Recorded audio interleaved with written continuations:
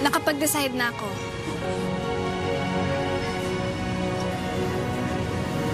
I appreciate both your efforts. Both of you, you really made me feel special. Pero,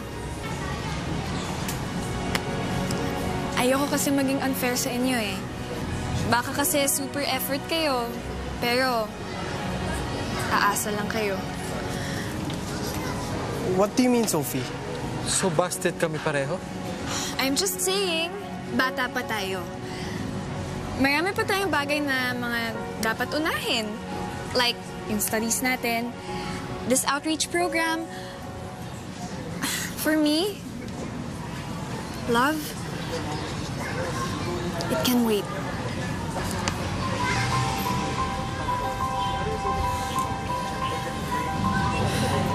But,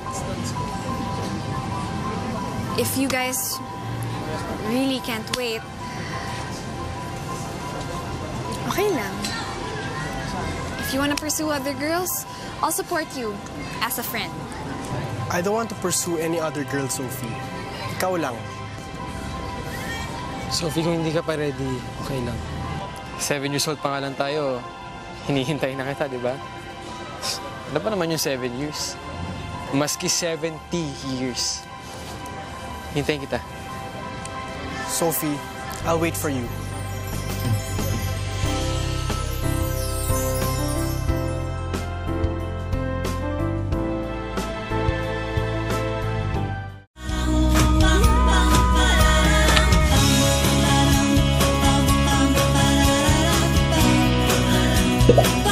Oh my G!